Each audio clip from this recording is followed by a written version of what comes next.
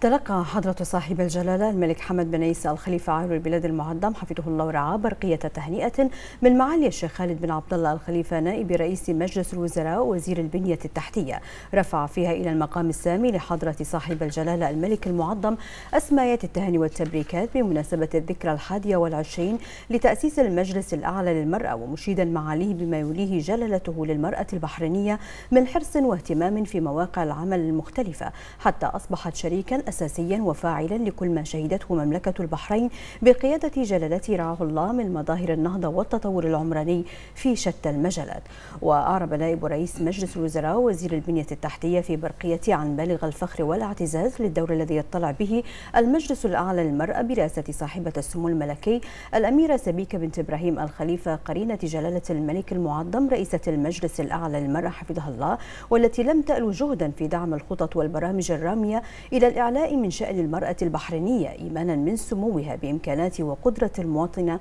المواطنة البحرينية والتي واكبت متطلبات التنمية بدءا من مراحل التمكين وصولا إلى مراحل النهوض بدورها وتحقيق التوازن على المستوى الوطني.